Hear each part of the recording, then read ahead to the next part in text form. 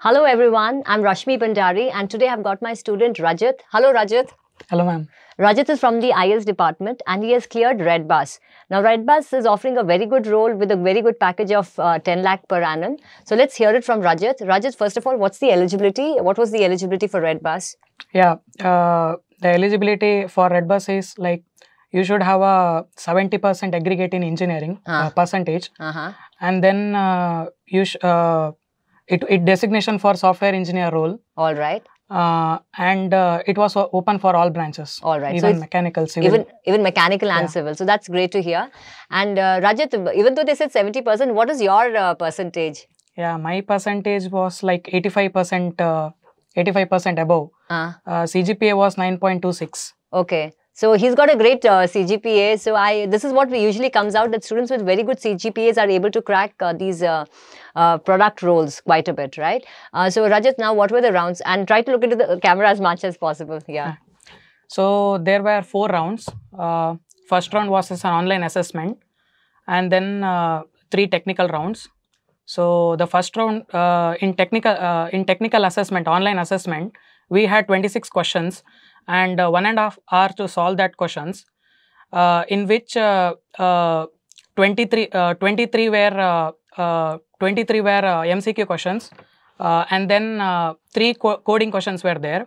So uh, since it, it was very less time, you need to be very fast, uh, very uh, accurate while solving the aptitude questions as well. So in MCQ, there were combination of both online and technical as well as the aptitude questions, Mm. uh, domain based and aptitude questions. So the aptitude questions were like uh, uh, ratio proportions, uh, uh, interest, uh, profit loss, uh, and then uh, uh, alligation and mixture. So these questions were there, and the aptitude was easy to moderate level. Uh, and then uh, we had domain based, uh, like uh, they will give a C++ Java pseudocodes where they assess uh, OOPS concepts, DSA concepts. So we need to guess the output, uh, uh, uh, eh, check, tell the error if there is any error. So that type of questions were there. All right. Can you give an example if you can remember? Uh, like in OOPS concept, uh, uh, while creating an object, Mm. uh, so uh, in inheritance concept, uh, while creating an object, the construct which constructor is called first? Uh, first, the parent constructor is called, Mm. and then the child constructor is called. So the order they checked whether you know the concept of how Mm. uh, inheritance works, uh, how constructor being object being declared. So that concepts were asked. Mhm. asked. And uh, then we had uh, three coding questions, uh, where one co- questions was uh, one question were easy, Mm. and the two questions were moderate to hard level. So uh, the one I I remember two question. Uh, one question is uh, a triplet question, uh, uh, where we need where they will give a magic equation. Uh, we need to find the maximum answer uh, by finding the triplet. Mm. So then uh, the second question uh, was little bit easier. So they will give a initial charging point and final charging point, and we need to find the time needed for how what is the time required for uh, charging from initial point to final point. So I solved uh, one coding question full, and then uh, two partial uh, output I got, Mm. and then I'm confident. I, I was confident in aptitude as well as technical. So Okay. that right. that was about the first round. Okay.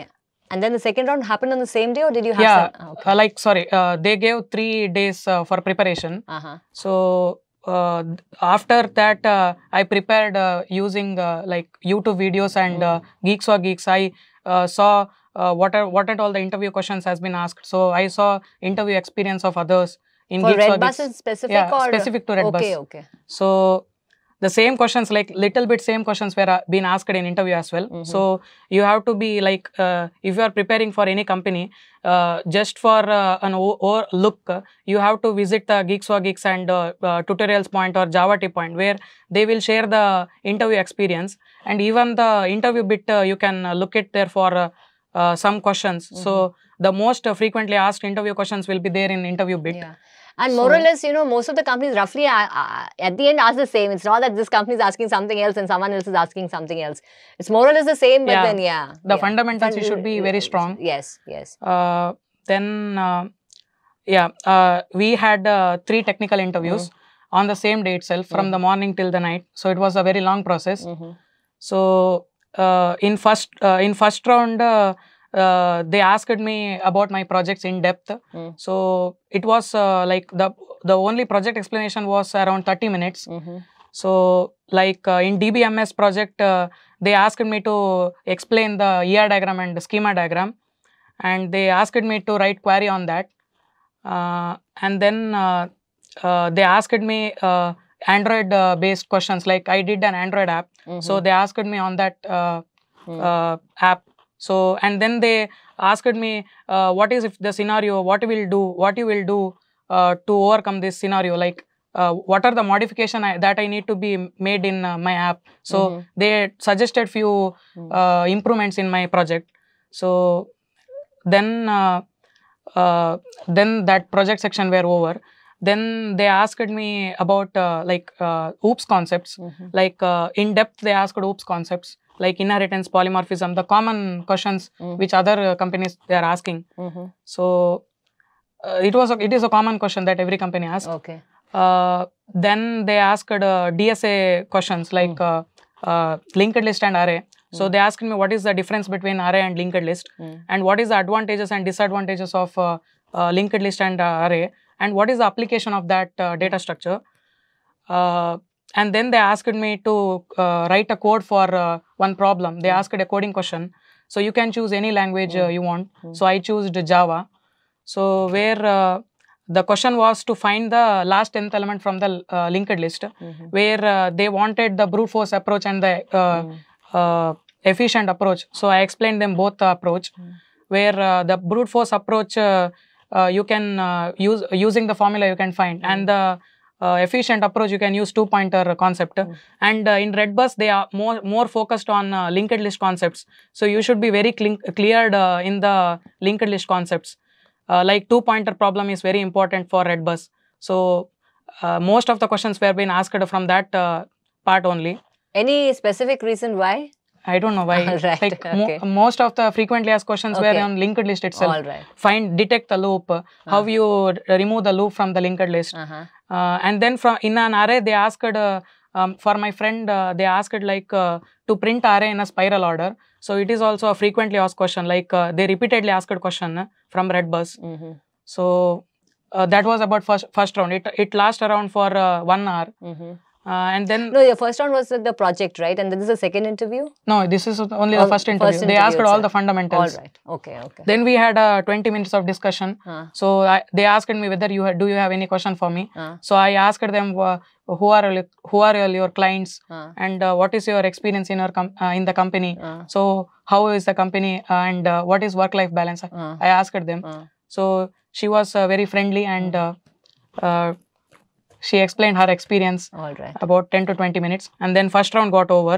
She explained it for 10 to 20 minutes. Yeah. Oh, wow. Uh, then uh, in the second round, uh, it was uh, like a discussion round, but the technical round itself, uh, there uh, way there they uh, go through my resume. Like uh, you should be uh, very like you should be uh, have an idea what you have uh, put on your resume. Uh, like uh, uh, they saw the achievements part and they asked me to explain the what and all achievement you did, how you did, how you manage your team. So that questions were asked Okay. and then they directly jumped into my project section All right. uh, where this uh, round was uh, fully based on uh, dbms question like uh, designing uh, part Uh-huh. so i wrote in my resume like i worked as a database administrator in my project in a backend development All right. so they asked me to show my er diagram and schema diagram Mm. so i showed them i had a snippet of Mm. that snap of that Mm. uh, then they uh, uh, me to explain that Mm. uh, then they give me a, uh scenario like uh, since they are redbus so they open their app Mm. and then they give me a scenario like uh, you have to design a database Mm. uh, like they have, they give me a consider there is a bu- bus operator you need to design a database uh, for that bus operator from which destination to which dest- uh, from which uh, place to which place and the date uh, uh, where it is uh, depart- uh, departure and uh, reach date and then time also and then price you need to list this on the on the table and Mm. you need to design the database for it so they give me 20 to 30 minutes to solve that Mm. so I was uh, quite uh, 70 to 80 percent correct. So Okay. uh, he suggested few changes on that. So then the second round got over, Mm. and after few hour I got a call for third uh, interview. Okay. Uh, this round was a combination of both technical and HR. Uh, first, uh, they asked a few basics HR questions Mm. like managerial questions, Mm. why Red Bus, uh, and then uh, uh, what is your strengths and weaknesses. uh, Mhm. So that basic HR questions were asked. What did you say your strength and weaknesses Uh, were? I am good in uh, problem solving, so Mm. they wanted that also, Mm. uh, that itself, the problem Mm. solving skill, uh, and uh, I'm good in technical. Mm. Uh, so I told that, Mm. and the weakness uh, I told uh, directly like I'm little bit weak in communication. Okay. So I am improving on that uh, by watching uh, web series and all those things, okay. new reading newspaper books and all. All right. So Just to pause you in between, see, uh, now his his answer, his technical skills were very good, and he's reached the finals, right? But I think when you say about your communication, it's a very strong uh, weakness, all right. So Yeah. your weakness should not be as strong. But Yeah. I think I think he, you, Rajat, you must have made it up in your technical. That's why that was not not as much uh, the thing. yeah, And he also had ways to overcome. He's not. He's working on it, right? Yeah. So that was a positive. Yeah. Yeah.